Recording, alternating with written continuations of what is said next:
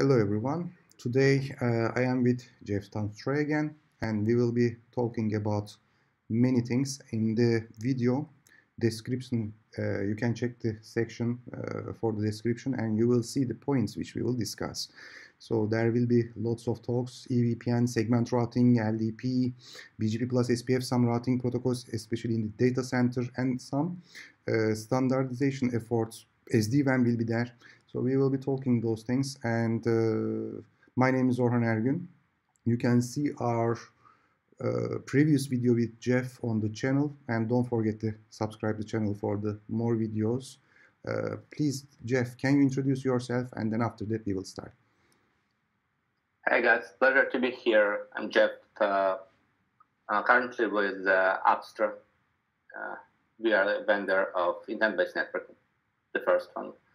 Uh, I'm a networking guy. I've been doing routing for 25 years, from Linux to routers. On uh, architectural side, I built quite large networks. I worked for a vendor for almost 10 years, Redback Networks, Ericsson.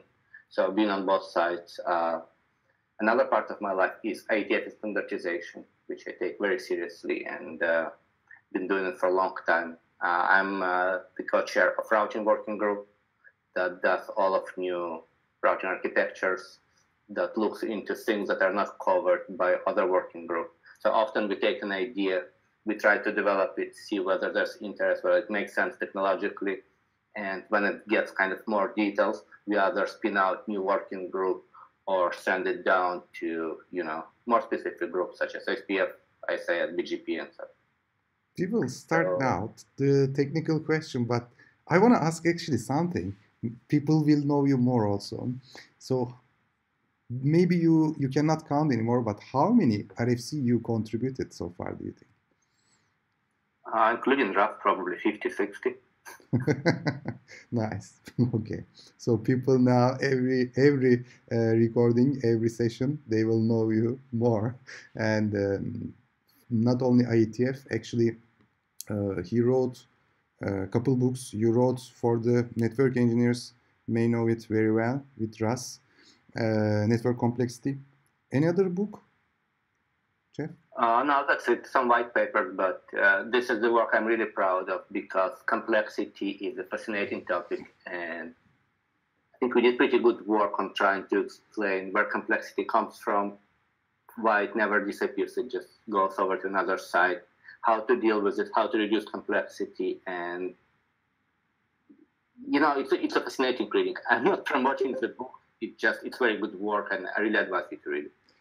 I know you are busy, but um, you should please start writing a book, uh, blog as well. If not book, blog post at, at, at, least. As far as I know, you are not writing. So uh, I'm very reactive from this perspective. So I often react on Ivan's blogs because they're always interesting and provocative. So. yeah, very provocative. And if anything, I it's more tweets than blog. So I use Twitter and LinkedIn to publish some opinions, my reactions on what I see going on in the industry. Also, yeah, let's say that uh, both of us, we are actively using uh, LinkedIn. So Jeff Tantsura or Ergun, you can find us on LinkedIn. And now let's start uh, with the first discussion topic. What's the most common use case for EVPN in real life? Is it DCI, WAN, within the DCI or something else?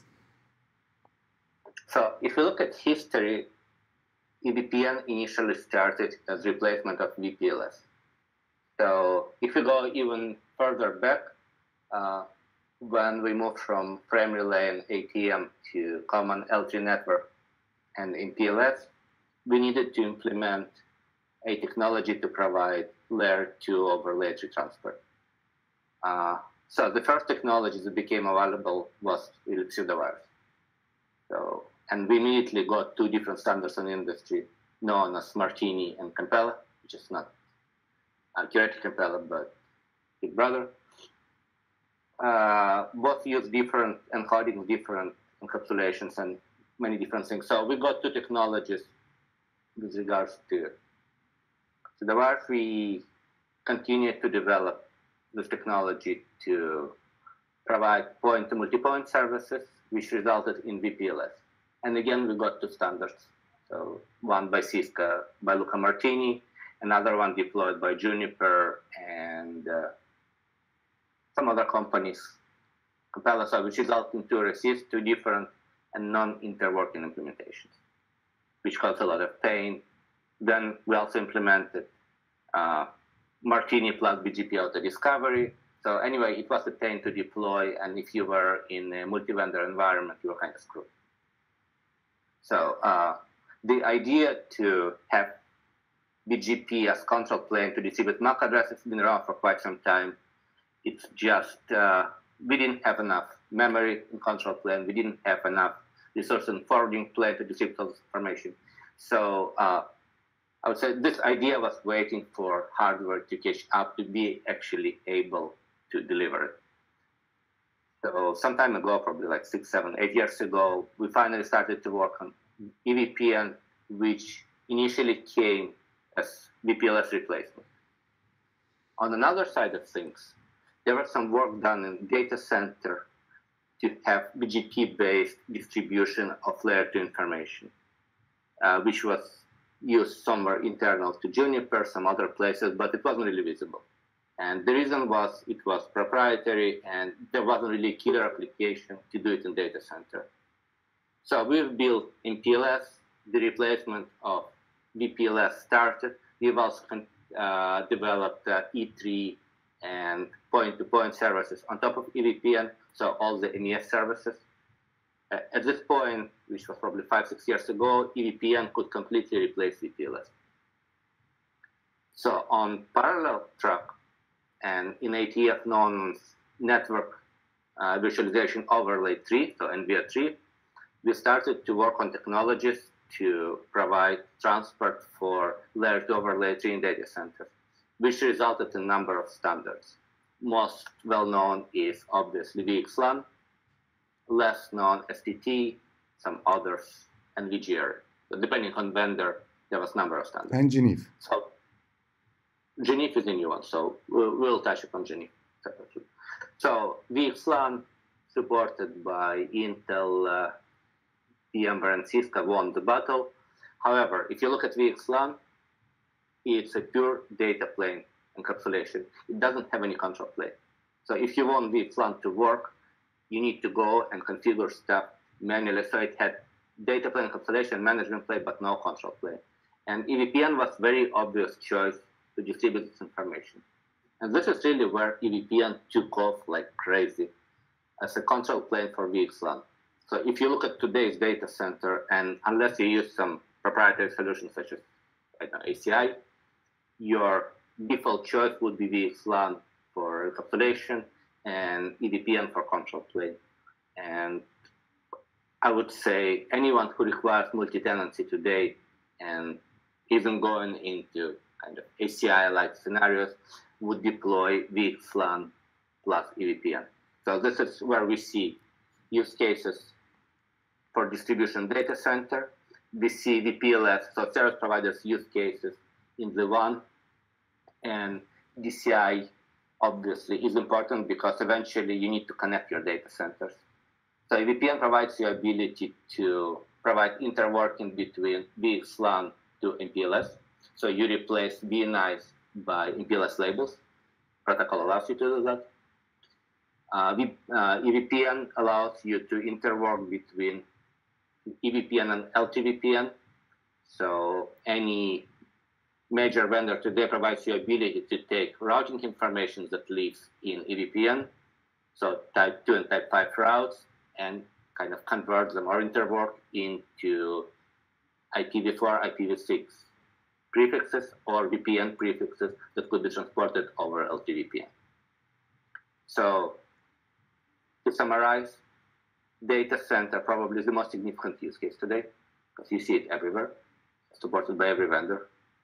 Uh, DCI, obviously, if you run it in data center, it's very convenient to use same technology within DCI as well as across data centers. And uh, service provider, classical E-line, ELAN services, E-Tree services provided by EVPN plus MPLS encapsulation. Plus MPLS encapsulation, but um, probably in the data center it would it, uh, people are generally don't want to get the MPLS in the data center. So VXLAN is a data plane and the EVPN as a control plane. Uh, I see also many people are interested with it. Uh, same reason MPLS they don't want to uh, deploy in the data center uh, especially towards the host. Uh, I got your point and I think we can move to next question. Uh, hopefully the answer. Very very uh, fast. If so you would answer that uh, Oh, yeah. so Genève uh, is being uh, ratified as we speak, so it's been in late stages for probably a year, mostly due to security implications of using it. Uh, VMware NSXT uses Genève as their overlay protocol encapsulation, so it's deployed in many places. The EVPN extensions for Genève is in very late stages.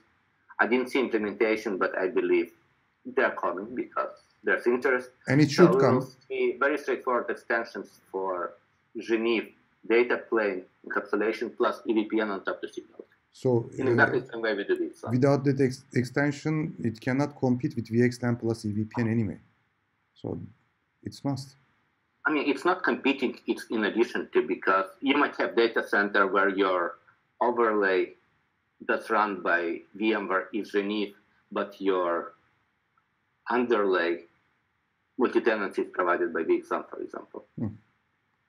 So you will see interworking on control plane layer as well as kind of inter, it's not really interworking, it's a boundary. If you look at uh, how you would deploy VMware on a 16 2.5, you would have Genève terminated on the edge node, VLAN handoff to a leaf switch, and then VXLAN starting from leaf switch to provide multi-tenancy within fabric. Okay. Let's move on. Second. LDP RSVP and segment routing. Choose one of them and why. So let's compare them first. LDP came around as stateless addition to IGPs to distribute labels or to distribute bindings. So every prefix needs a binding in order to resolve IP destination to a label, right? So it was very straightforward, pretty hacky protocol, if you ask me. Still a lot of issues after 15 years in the field. However, reasonably simple to deploy and uh, back then there were actually two protocols competing for traffic engineering CRLDP and RSVP-TE. So we are not talking about RSVP, we are talking about RSVP-TE, let's be clear. and also let me So- clarify CRLDP constraint based LDP he's talking about Yeah. Which constraints stand for not using shortest path, but computing a path that deviates from the shortest path. Meaning you take some constraints into consideration and you compute the path that is traffic engineering. So CRLDP lost. It was a somewhat technological, somewhat political battle. But the point being, we ended up with two solutions. Uh, completely connectionless, just follow SPF provides label bindings, LDP that runs on top of your IGPs, and RSVP that is connection oriented. It kind of it mimics a connection because it's from head end to tail end, and it's in-band signal. So you have RSVP flow that goes from head end to tail end and back. It does resource reservation. It uh, signals the labels it's being allocated locally. So it's connection oriented, and even so, it's not hard guaranteed. It provides soft guarantee to resource allocation. So if you reserve 10 gig of bandwidth, it doesn't mean that it's actually provided. You need additional means on the device to actually physically configure policers or any other Such means to as- guarantee this traffic. such as differ quality of service yeah. Yeah. So if we look at segment routing, it kind of inherits properties of both. It's completely stateless. So there's no state on intermediate nodes. Uh, it does provide us ability to do traffic engineering, but not in band like RSVP. All the computations are done by a logically centralized controller. So since controller knows the topology, all the attributes, bandwidth available. So all this information is signaled by IGP today and BGPLS, which stands for BGP link state. It's an extension to BGP to signal information encoded in IGPs to a controller. So now since controller has all the information, it can actually build logical tunnels and then signal them back to headend to instantiate them. Couple things let me add here. BGPLS is not also just carrying from the network the topology information from the link state protocols, but also uh, traffic engineering specific informations might be like SRLG, link coloring, admin uh, groups, etc. Uh, this is important to understand. IGP can still run between the controller and the network, but BGPLS, uh, you like you can think that you are redistributing all this topology information plus traffic engineering information into BGP and your BGP speaking router probably like route reflector and the controller uh, speaking BGP. Uh, let's continue. So to kind of explain why we introduced BGPLS, uh, traditionally all traffic engineering information in IGPs is carried in opaque LSA LSPs. Uh, the scope of such LSA LSP is level or an area. So the problem in this case, obviously, you need to create a logical tunnel from an IGP level or area to the controller once per ABR, which doesn't scale, which painful, requires GRE tunneling and all the stuff. Uh, BGPLS. What if you have just flat design, not hierarchical design? Then you could use IGP potentially. So, but in this case, still BGPLS wouldn't provide uh, scalability compared to IGP? Uh, so BGP is better in a way it doesn't flood, right? Yeah. When you need to, BGP only sends incremental updates. And this will come up in LSVR discussion yep. as to why we are doing it, right? Okay. So uh, I would say BGP provide, provides much better API to interact with controllers than IGP. And this is pretty much why. But you are still not saying, uh, maybe you said flooding and it's equal to scalability as well. So scalability is on one side. BGP yeah, LS so versus IGP. If you have controller passively participating in your network, you flood every time there's a change, right? So your controller is constantly being bumped by new information. Yeah. BGP in this uh, case also scalable. Uh, BGP LS uh, address family would be scalable compared yes. to IGP. There's some negative points because what you de facto do, you are translating information in IGP, not translating, encoding into BGP. Mm-hmm. And if you are not doing it correctly, and I've seen the early implementations of this, you get interesting conditions, uh, especially in IS-IS case. It's really complex technology to do. But when implemented, it provides much cleaner. So not to forget, BGP supports policies, while IGPs don't, right?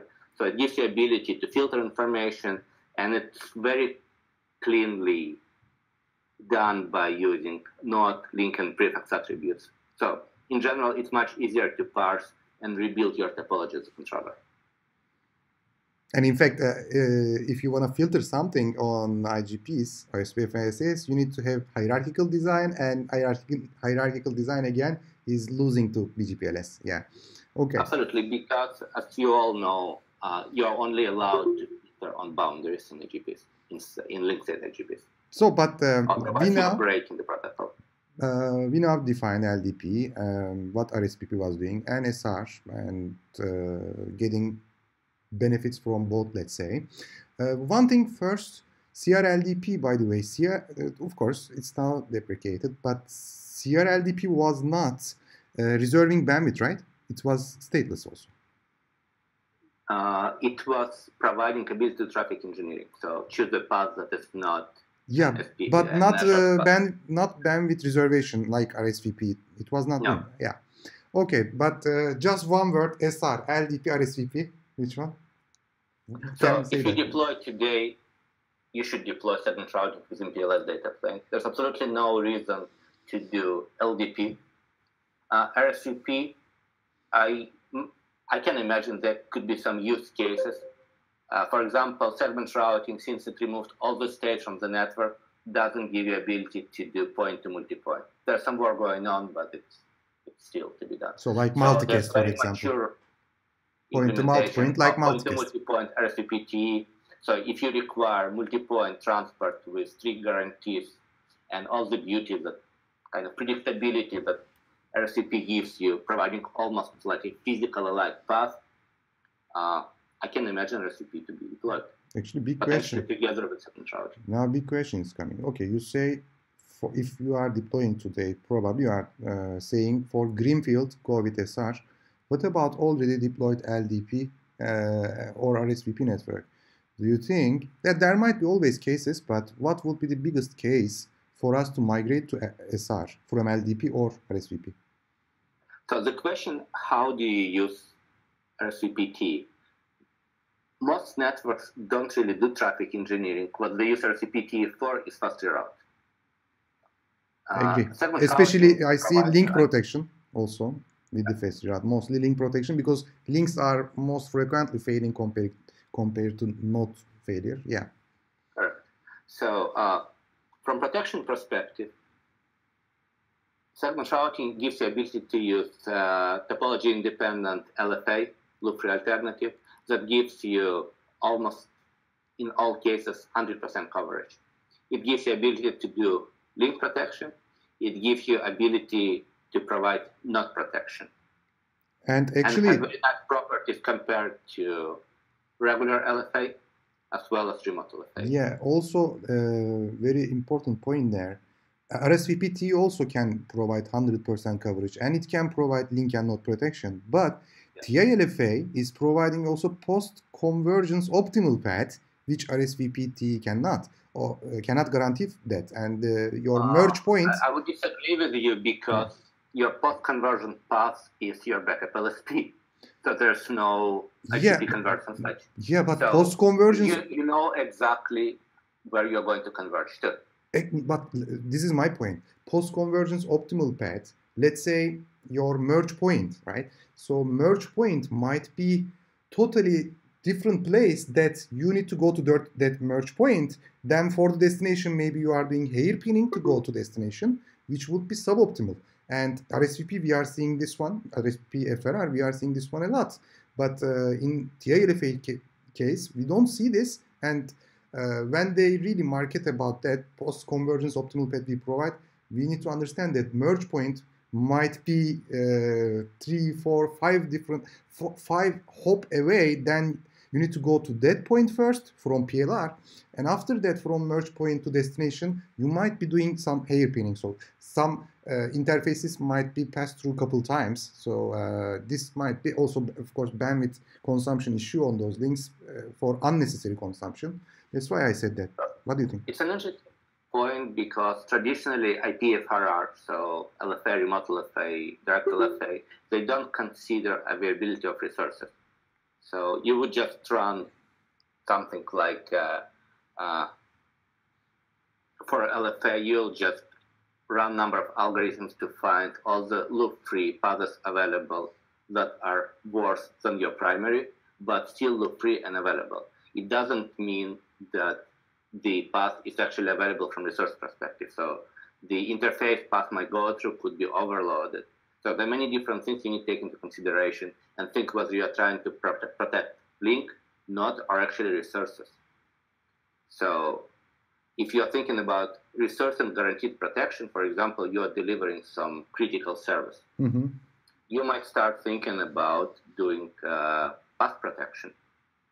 So your backup path is fully pre-computed and pre-instantiated prior to the failure, and controller really monitors use of resources and if needed, recompute the backup path. Path protection, by the way, let me just introduce path protection for the audience. Uh, so link protection and node protection, we generally consider for the local protection mechanisms. So um, path protection though is done by the head end and we have always one-to-one -one primary, so protection and protected pets. primary and backup pets uh, was just Jeff talking about. Uh, any other point for this question? So let, otherwise, let's move on.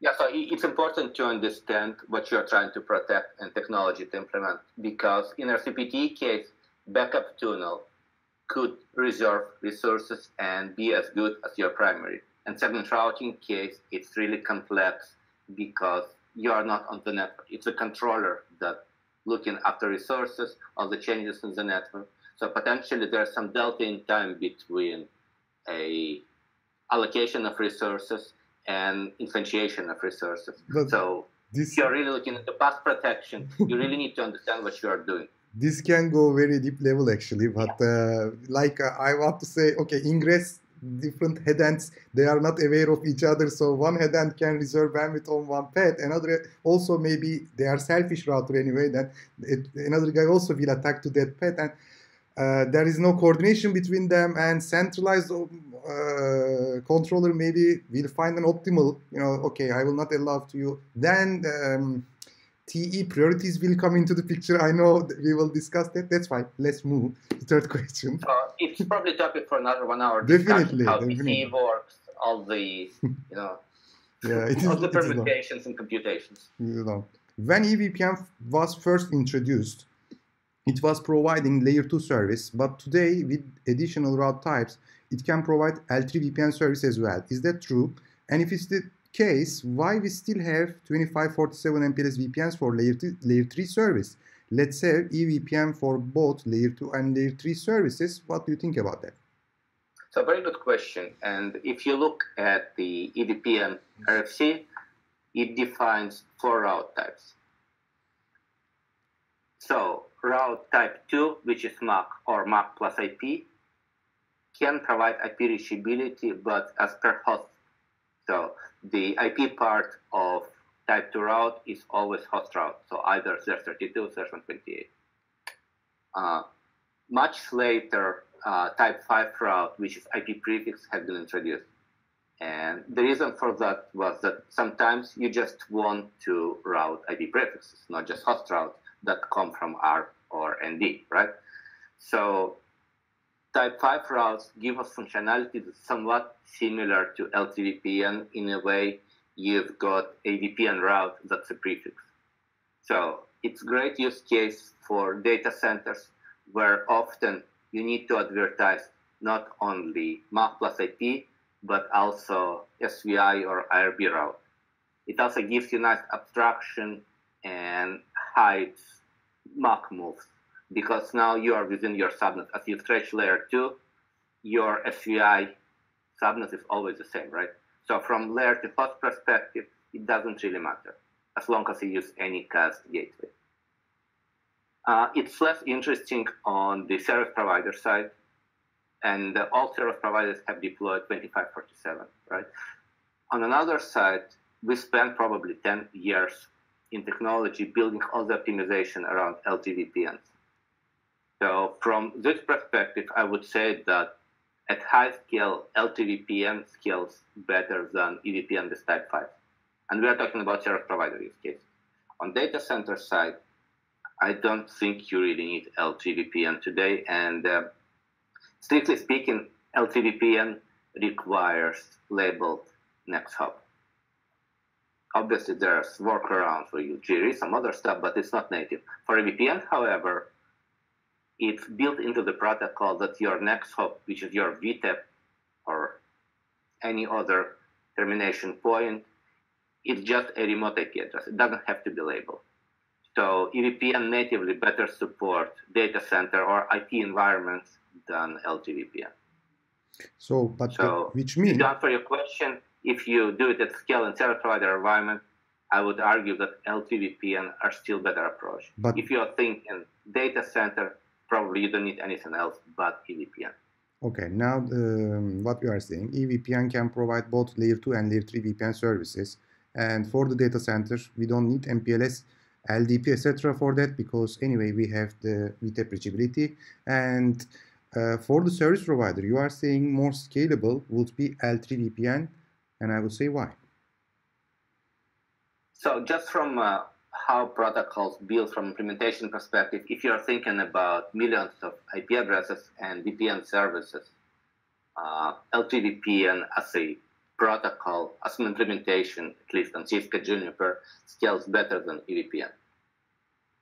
Uh, are you talking because for the VPN labels we can advertise not per IP address but per VRF, per CE, etc. as well, or any other point? I mean, for all practical reasons, you could do similar things for EVPN you could optimize it. And eventually, I believe the difference will disappear. But looking today, and yeah, I'm not working for router vendor anymore, but talking to some Juniper people, the Cisco people. I'm just passing you information I've gathered. If you want to do L3VPN service scale, so L3VPN is still better technology than EVPN.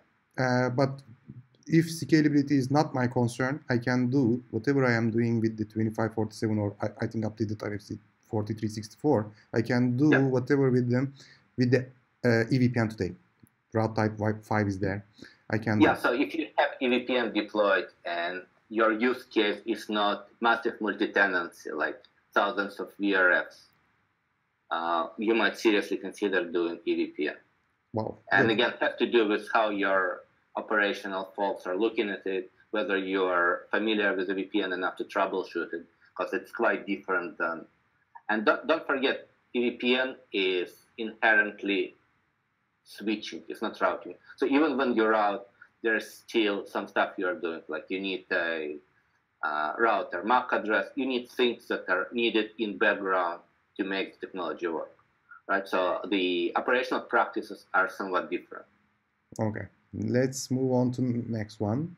Is it true that standardization for the IS-IS comes before OSPF in IETF? We see many network operators chooses IS-IS because of that. What do you think? So it's a religious discussion, but let's look at the history. Uh, traditionally, IS-IS was taken by service providers, while OSPF was taken by enterprises. And we almost had two vendors, or actually Cisco before, then Juniper came in, and uh, feature sets were really diverse. The enterprise features went into OSPF, while service provider use cases went into IS-IS.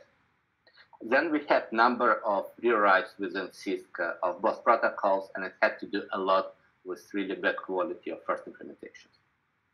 And uh, then we had UUNet AS701 deploying ISIS at really large scale and all the bug fixes that came in. And the fact that this became the point where service providers started to deploy IS-IS at scale. Uh, some reasons were OSPF is an IP protocol. ISIS inherently runs at layer 2, so presumably more secure. I would argue it's not, but you could say if you cannot attack it on IP layer, it's more secure. Remote attacks are possible, impossible for the IS-IS, yeah. yeah. So another point, uh, traditionally, OSPF could only be extended by changing LSAs, which is the major building block of protocol, while IS-IS from the beginning was deployed not designed using TLVs. So which are much more flexible. So extensions to IS-IS are much easier or were much easier than before. Uh, about four years ago and driven by segment routing, we published an RFC, I've got number here. Let you know. Uh, For what? Seven, let me see. Architecture? We've published RFC 7684 OSPF-v2 prefix link attribute advertisement, and it really helped us a lot the segment routing.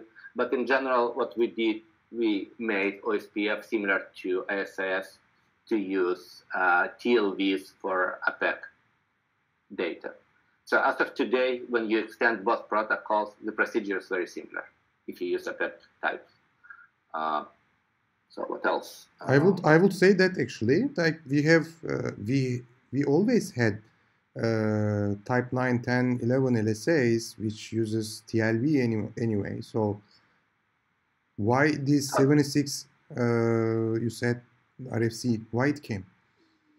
Uh, because you needed to be able to provide additional encodings and data to prefixes to all regular informations that you would normally transport in LSAs. And this is exactly what we did in segment routing. Mm-hmm. So all the additional information that needs to be carried together with basic reachability is utilizing those additional uh, TLVs. For the SR, what type of things you are talking about? Like SR, for the SRv6 case, are you talking? Because no, no, uh, SRMPLS. SRMPLS is So this is actually what pushed this RFC. Uh-huh. It's really segment routing use cases. Because We've been trying to convince Acee Lindem, who is the chair of OSPF working group for probably the last 40 years, to do TLVs in OSPF, but you know, he was disagreeing. Segment routing was really the use case to extend OSPF more. And last point, but very important one, with regards to IPv6, if you do SPF, you need to run a completely different protocol, OSPF v3. ISIS does support uh, uh, v4 and v6. It has properly implemented MT. And actually, some time ago, myself and Uma Chunduri, we published a draft that talks about all the considerations you need to make if you want to deploy multi-topology. Uh, I'll send you the link. Okay. It's actually reading. Yeah. Mm-hmm. So this is pretty much why today, when you see features, usually there's a gap of few months, at least on vendor side, when you implement ISIS versus OSPF, and it's really usually dependent on who is driving the solution in IETF. So if you see people like Les Ginsberg or Stefano Previdi, they're ISIS folks. So for them, it's really natural to do ISIS first, or Tony Li. If you see people like Peter Psenak or Acee doing this, they're OSPF people. So, you know, it's like for your first language, you'll just by default pick up whatever you're familiar okay. or better familiar with.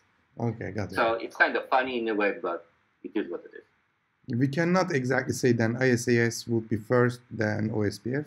Depends on who is starting. Yeah.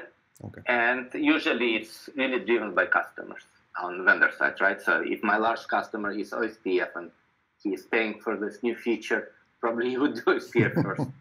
Even RIP first. uh, you know, whatever brings money. so another question. Uh, this one related with the data center routing. Uh, not everyone may be familiar with, and probably we will do other uh, meetings with Jeff as well as with the other data center routing guys like Tony P, etc. Uh, let's at least high level let's discuss this one, but for the individual specific to DC routing meetings, we can discuss in much more detail. Uh, hope Jeff also joins. Uh, Jeff, Tony, uh, myself, we can do also three of us as well. It would be great. Now, this question: What is BGP plus SPF in the data center? Is it replacing BGP best path selection decision with SPF? If it's doing that, which part of the BGP is used in this protocol, Which BGP plus SPF? So, as usual, we will take a step back. So, uh, three years ago, we started to look into what's needed to be done for data centers.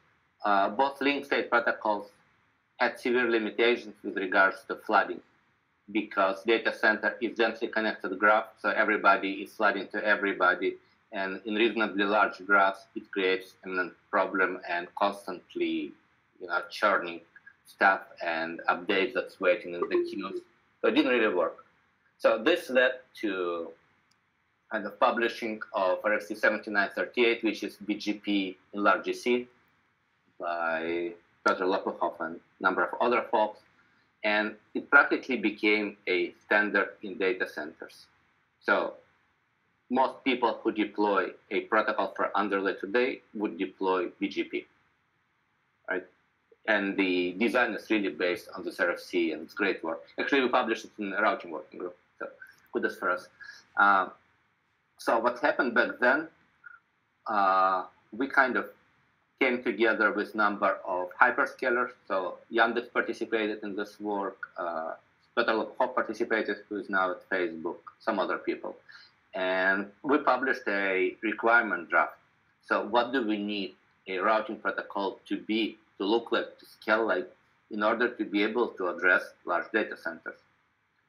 Uh, so we published 00 draft that stated 00 and expired. You can still find it online. So it defines kind of scaling characteristics, uh, some other things. And as end result, two solutions came out. One of them was Rift, which I'm a chair of. Another work is LSVR, and this is how LSVR became the working group. So if you look at LSVR, what it does, it uses BGPLS. So it's not just BGP unicast, it's actually BGPLS. Traditionally, BGPLS was only used as a transfer. You transport your IGP data from a router to a controller. What LSVR does, however, it not only uses BGPLS and additional SAFI, that's BGPLS SPF, to transport this data across nodes, it also uses SPF to compute the best path.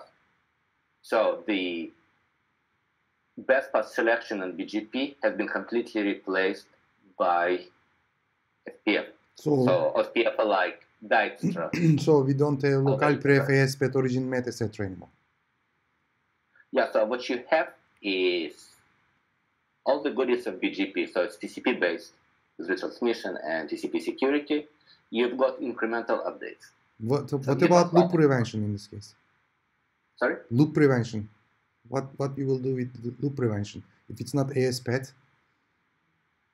Uh, it, it is active, but it's still BGP. Still BGP, AS path is there, but and for the loop prevention, no, it's, it will be used. BGPLS, BGPLS, if you look at what it gives you, it gives you pretty much LSDB, it's just encoded differently. Uh-huh. It gives you all the nodes, all the links, all the prefixes.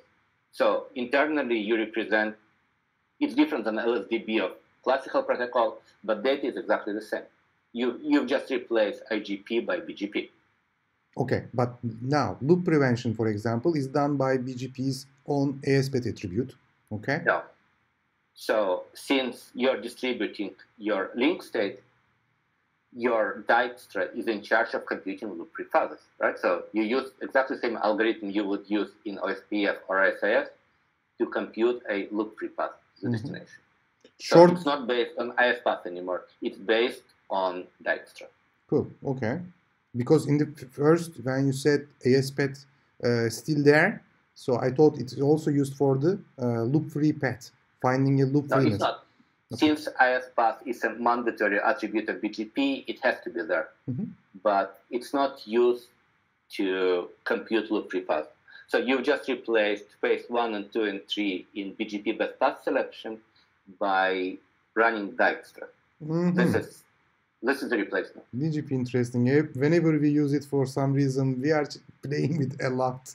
Oh, it reminded me a lot of things. BGP Security Confederation. For example, in Confederation, we are using BGP AS path attribute for the loop prevention, but not for the best path selection.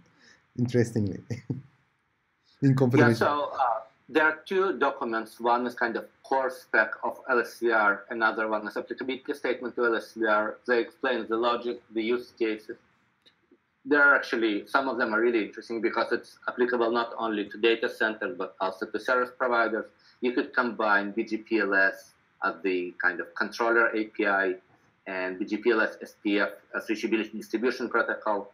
So So, couple if you are questions. into this kind of stuff, it's pretty interesting. I would really advise you to read it. Couple- well-written document as well. couple question now for the BGP plus SPF when we say that BGP actually BGP LS plus SPF. Yes. Okay. Uh, let's move on. Mhm. So the address family is uh, the IP is BGPLS, the SAFI is BGPLS SPF. So only the SAFI has changed in order not to kind of uh, not to break BGPLS. So they use different SAFI because there are some additional attributes. Mhm, mhm. Okay. And So another question. a lot of testing and some deployments. Uh, and again, if there's more interest, we can invite Keyur, and he'll be happy to to tell us what's going on. Okay, a couple questions. LSVR. In LSVR, do we have only BGP plus SPF or any other work in LSVR? Uh, there's some work that's going on on uh, auto discovery. Okay. Uh, and another question. For the Rift and the LSVR, we have two different working groups, right? Yeah. Rift RFC is not published yet. No. So both Rift and LSVR core specs are in uh, ILG review. So it will take you know, number of months for both specs to be published. And for both, From implementation perspective, Rift has been implemented on uh, Juniper and shipping. There's also Python-based uh, package that's working. On the LSVR side, there's Arrcus implementation. And, uh, I think Nokia was doing something. I'm not sure. any real life deployment, are you aware? Uh, you should talk to vendors who ship it. I, yeah, Okay. it's not mine. Okay, got the point. Maybe they can answer when they join. Next question. And after maybe next question, we can also finish this recording as well. We will have a couple more questions, but we always have another meeting. So can you talk about uh, different type of RFCs? There is informational RFC, experimental RFC, standard RFC. Please define them and can you talk about differences? Absolutely. So uh, if we are talking about standard protocols and any new proposals that requires changing, changing to, change, changes to them would be a standard track RFC. It has to be ratified. If you're asking for new code points, any new information, uh, there's a process to request this from IANA, and IANA would allocate them to you, which prevents what we call squatting of points. So someone else building some other solution won't get same points building something else. So there's very strict procedure to do this, and standard track RFCs go through meticulous number of reviews uh, as a working group document, and then when we decide to do last call before they become RFCs, every area within IETF will do the review, AD will do the review, and this is usually where a lot of work coming in because suddenly not only routing people reviewing your solution, but also security people, application people, in area people, and you're getting questions you would never imagine you would get, especially with security people. I, I, I, I, am having now a little bit hard time to get the point. You said for the standard RFCs, if we are work, if we are working on the standard protocol, uh, but might be some greenfield, so totally new protocol, or you are writing a document which uh, for the existing protocol, it might be maybe standard protocol. Let me give uh, one example. Why, for example, EIGRP 7868 is informational RFC, EIGRP Cisco's proprietary, and why not standard? So in general, uh, in most working group in area, in routing area, we require at least two implementations. So if it's single vendor implementation, is not good enough for a standard to become an RFC.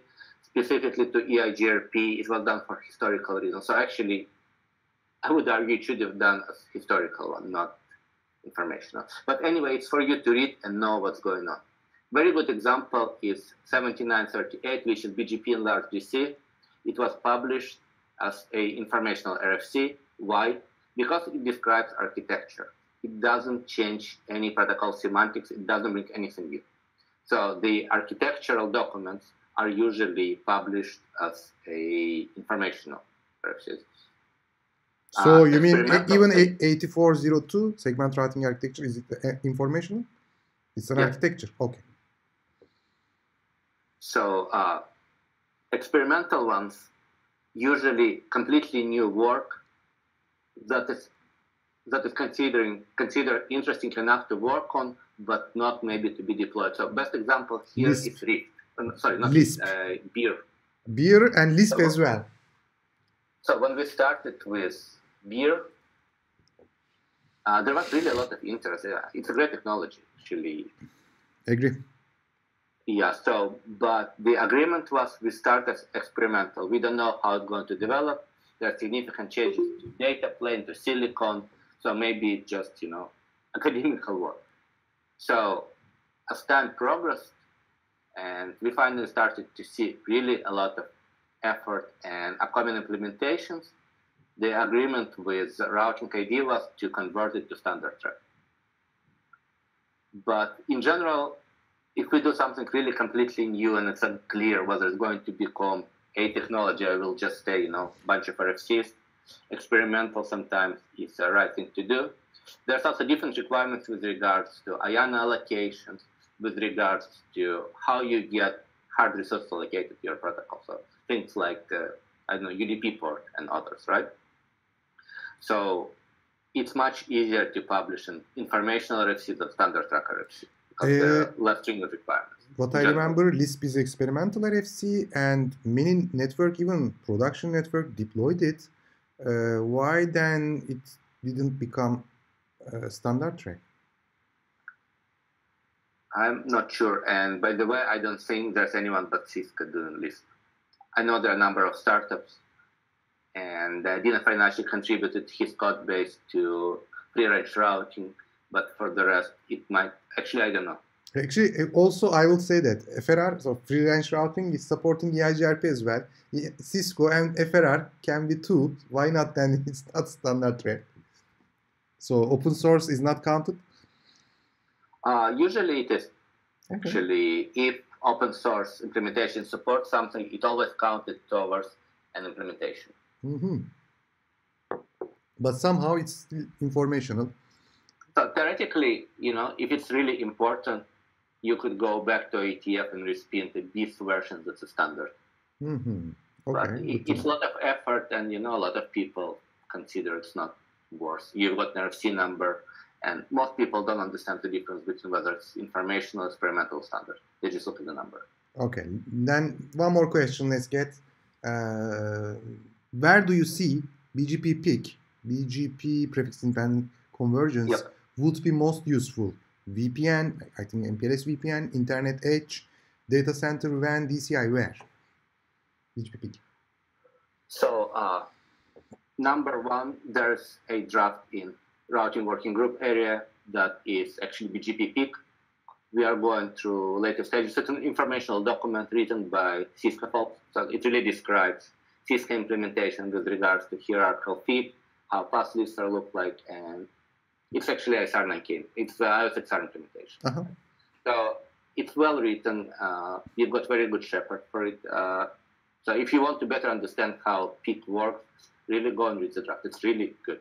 Mm-hmm. So with regards to where to use it, for PIC to work, you always need a secondary next hop. That is a backup, right?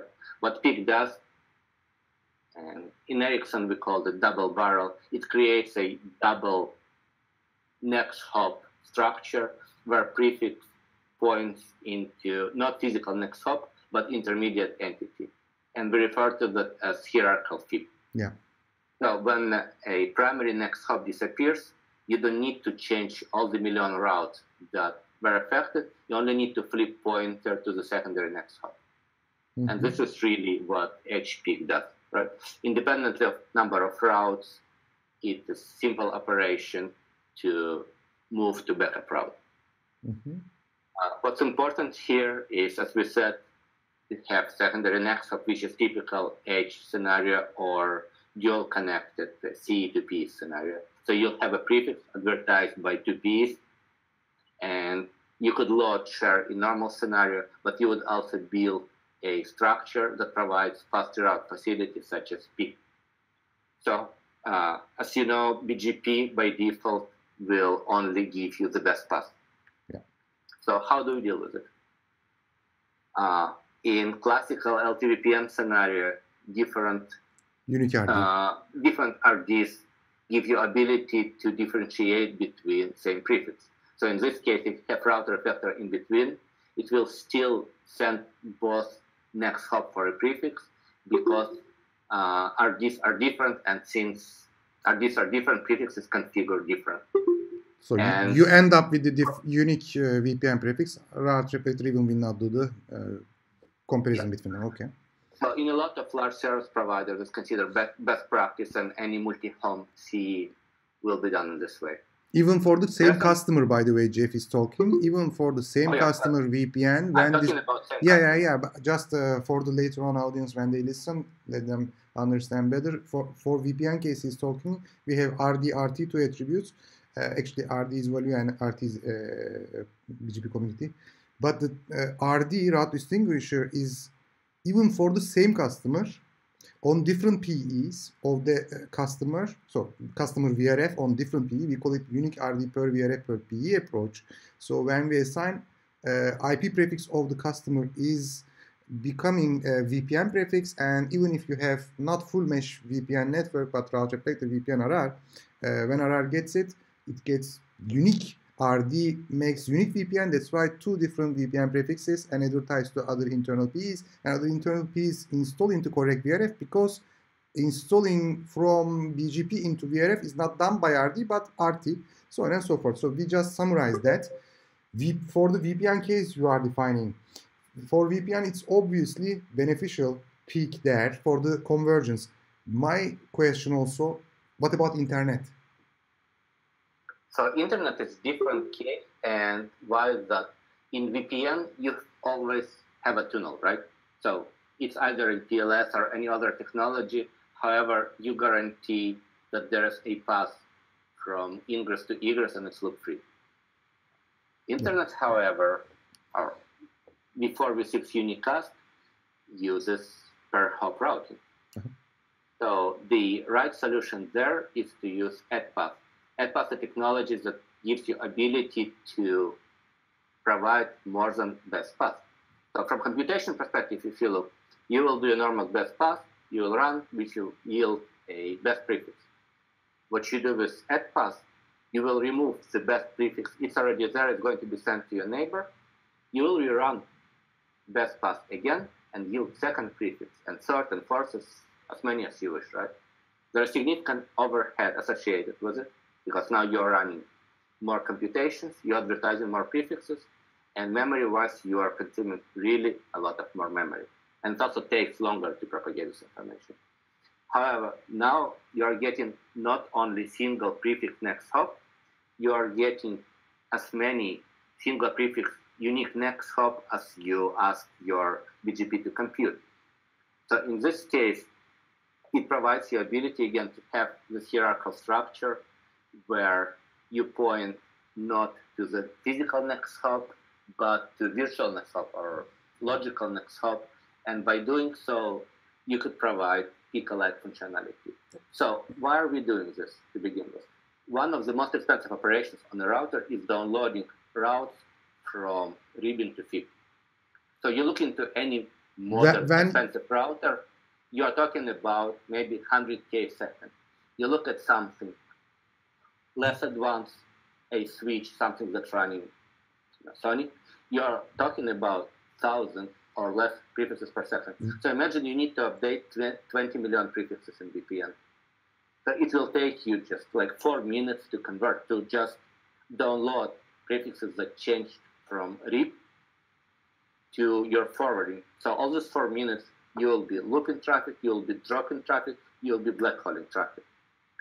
So PIC gives you ability to just flip next hop and hence the independent of number of prefixes. So This is this is where the name is coming from. Prefix independent conversion. Okay, so okay. there's one or middle prefix. Before you go more, let me ask a couple questions there to clarify. RIB to FIB, you said RIB to FIB download of those prefixes is expensive. What do you mean expensive? Are you talking about convergence point of view? I'm talking about time. Time, convergence point of view. So it will take time. Yeah, so for, of course, number of prefix when it grows, it will take much more time, you say. And with the PIC, when we have the uh, BGP PIC, it's like using active and let's say hot standby. So they are already programmed into the both RIB and FIB So we can just change the FIB pointer when there is a detection of the primary next of failure, let's say. But uh, so far, uh, I was taking note while you, yeah, not in my brain while you were talking. MPLS case, you define unique RD per VRF per P. Uh, and we don't need in this case Add-Path or there are a couple other stuff like shadow route reflector, yeah, so etc. What, what you could do also for VPN cases is best external. Yeah, best, so best ex external is a really nice technology. It's very simple. So normally when you receive a prefix and you've got two endpoints, one of them will win due to some administrative metrics a better uh, local preference, some others. So what's going to happen? The node that's lost will withdraw the prefix. So end result, the ingress device will have only one single next hop. So no yeah, backup. Yeah, even if but using that, even customer might want even uh, even customer might, might want to use active standby setup. So maybe with the community they are sending prefix and then they are changing our local pref. So we are uh, preferring one of them and best external will allow us to advertise that second link. But uh, my point, best external even might be required if you are using unique RD per VRF RP or Add-Path or shadow or any mechanism because if there is uh, if actually let me come to conclusion if route reflector for example is not choosing the best path other than IGP cost to the BGP next hop, you you may need the BGP based external in any case because otherwise. Yeah. So. Yeah. Go ahead. Go ahead. Correct. So there's a number of technologies that could be used in combination with each other. Exactly. Uh, we need to understand complex. So Add-Paths is a complex technology and it eats really a lot of memory. And if you think about millions of prefixes, you should really think about what you're doing. Oh, now that's very big question now coming. Okay. Uh, in both uh, cases, when you say BGP PIC as well, so somehow we send the two next hop, two BGP next hop for each and every prefix. And now we are multiplying the, let's say, resource usage, memory usage, let's say. With BGP Add-Path. uh, my requirement is just, maybe I have three, four, five, ten different pets, but my requirement, let's say, just to have phase three route. So only two next hop is enough for me. Not maybe optimal routing, so I need to send 10 of them or without BGP optimal route reflection. So just two of them I send. With the BGP add path or unique RD, still two. So from my perspective, BGP PIC and BGP add path from the resource consumption point of view would be the same result. With BGP PIC 2 path, whatever protocol, whatever technology you are using, unique RD per VRF per PE or shadow RR, or BGP Add-Path. Uh, I want to understand why you are saying, okay, I, I can understand BGP Add-Path is complex, so you need to touch both route reflector and client to understand this path identifier. But uh, why it should consume more memory with BGP Add-Path compared to BGP PIC? So if you look at uh, separate RDs, if you look at kind of internal data structure perspective, there's just, it's a, it's usually implemented on uh, in routing are radix tree. So it's not complete copy of everything. It's just uh, an attribute that's different, and it could be really compressed in terms of memory usage. Got you. With Add-Paths, you you get completely new route, so you duplicating every time. And this is where the difference comes in. If it's just one route, we are talking few bytes, right? For for this thinking, answer, I want to kiss you now. exactly. if you if you think million routes, suddenly it becomes gigabytes of, memory, right? So Got and time to transmit them. Got your point, and it was a really nice discussion. We, I think, audience now we have also some live audience here. Uh, guys, do you have any question? We can maybe get uh, very short one, two questions. Uh, otherwise, hope you enjoy. Too many smart people on this channel. Uh, we have only one smart people there. Jeff is there, so Go. If, do you have any comment, any question? Otherwise, yeah. Uh, yeah. Hi, hi, Jack. Uh, thank you for your time. Fantastic session. Uh, regarding LDP and segment routing, uh, for brownfield uh, backbone TLS based on LDP, uh, does it worth it to propose a migration to segment routing, or it should be better they, they keep or maintain the uh, LDP uh, structure of, labeling. And for Greenfield, uh, for a new backbone, so uh, the proposal should be segment routing for Greenfield and Brownfield LDP based, just stay with LDP. So the migration from LDP to SR is very straightforward. Actually, we spent a lot of time thinking about how to do it because there are very few greenfields in general. So we've introduced the concept of mapping server what mapping server does, it takes an LDP binding and maps it into SID. So you could run same network and have boundary, or actually, the interesting point, the server itself doesn't have to be on the boundary, it could be anywhere.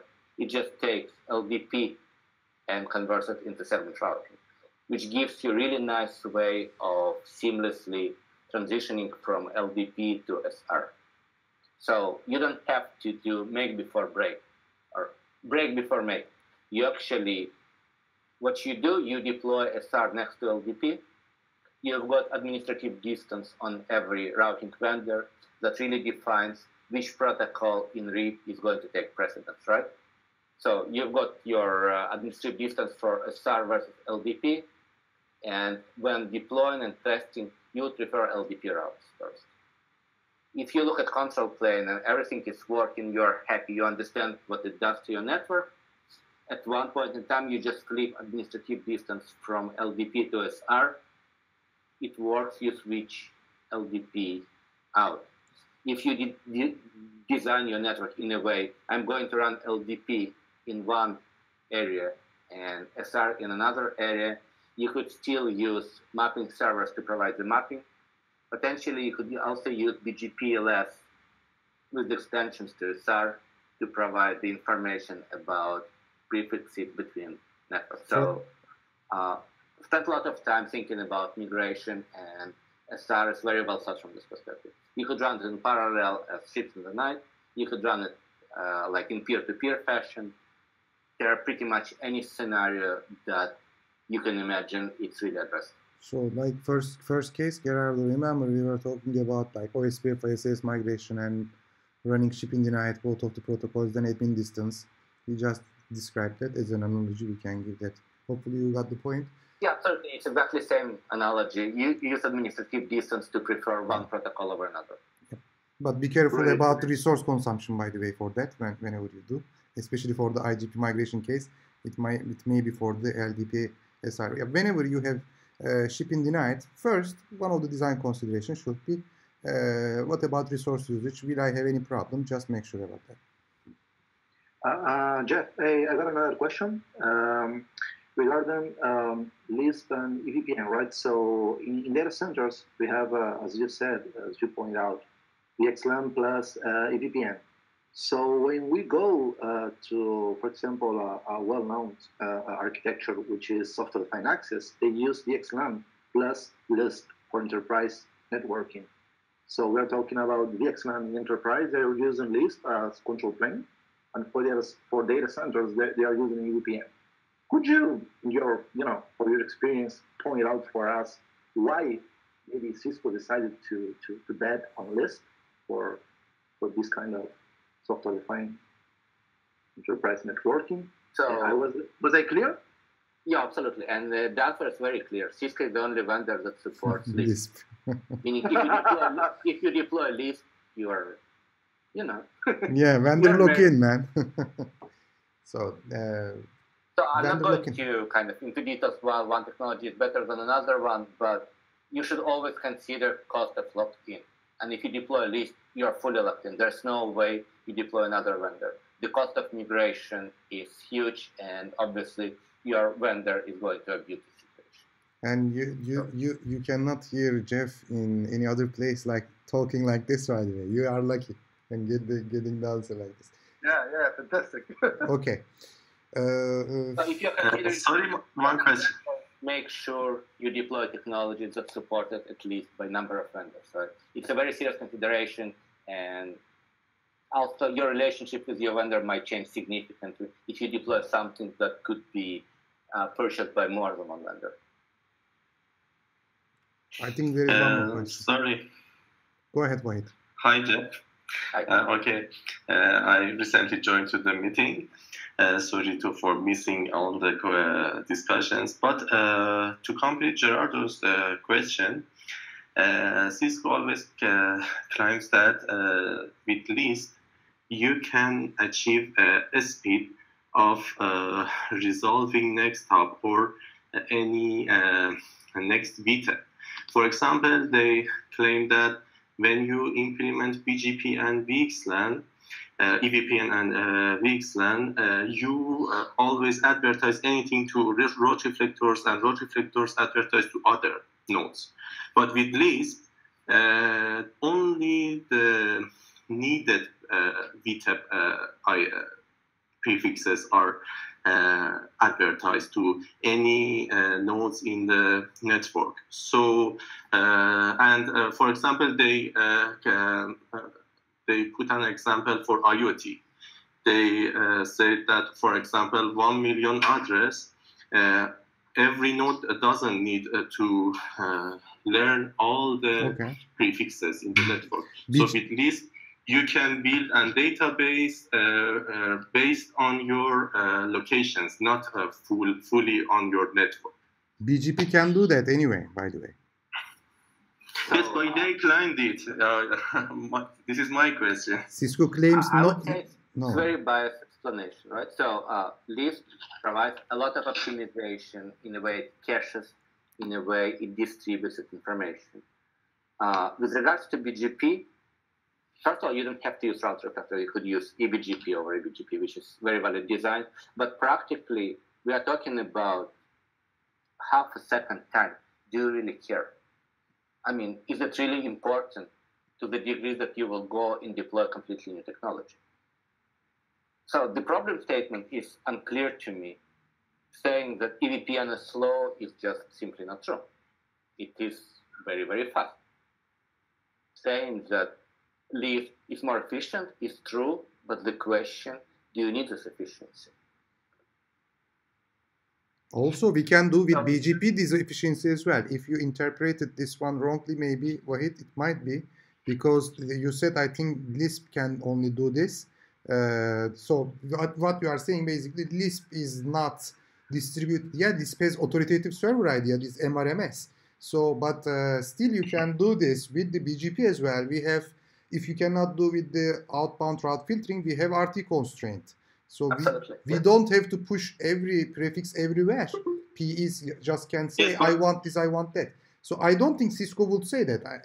As a Cisco, maybe some Cisco engineers may not know the, all the technology details, so they might say. Uh, otherwise, I totally agree with Jeff. Tech Field Day, uh, that was in the Tech Field Day that I recently saw in uh, their uh, videos. Uh-huh. Mm-hmm. But also, uh, uh, I think uh, your uh, point, uh, Orhan, is make some complexity because you must do some route filtering or prefix filtering. But with Lisp day client, the sorry, the engineer client, that it become easier and faster. So you are bringing uh, extra nodes and all those. You are bringing extra the exact example is uh, on IoT services, uh, especially. I need to watch exactly what you are, what they are saying in the video uh, to say more. But as I said, we have uh, already BGP there, and even maybe other protocols. We are not saying Lisp shouldn't be used or something, but most important point: know that you will be vendor locked in, and if you are okay with that, if you are already Cisco shop, for example, go for it. But uh, just know, and whenever actually I talk about other protocols, Cisco proprietary protocol, answer same. OTV you might be using. It's great technology also. For for me, uh, OTV is providing those ARP proxies and many other features. That's fine. But you will be vendor locking. Just know that when you compare VPLS with the OTV, just remember that. And also there is EVPN now we have. So know each one of them uh, pros and cons and then decide. Uh, let's finish. Jeff, what uh, you want to say as a last? Thank you. So I would like to thank everybody for your time and interest. I, I really enjoyed the discussions and hopefully we'll continue having them for a very long time. We'll bring more people. Yeah. And uh, get connected on LinkedIn. Have any questions, I'll be more than happy to answer them. Do get involved in IETF. It's probably one of the best decisions I made in my life, reasonably early, but I'm still enjoying it. Uh, if you don't understand the process, you don't understand how to join, uh, just let me know. I'll explain it. It's very, very easy. We are a very democratic organization. Okay. And next time, maybe. to see you soon again. Next time, maybe also uh, very briefly, we can discuss how, how you can get connected with the IETF process, guys. Uh, Jeff is the best resource for that, uh, and we can help how you can get on board. I want to also uh, thank you, and we will definitely continue to do this kind of session with Jeff and don't forget to subscribe to the channel and get the notification. You will get the notification first. Oh, you can connect with us on linkedin jeff Tantsura you see the name already there in the video and in the description as well. It will be uh, written there. And you can also connect with me as well. I'm using linkedin. And bye for now. Thanks, thanks have a good evening. Bye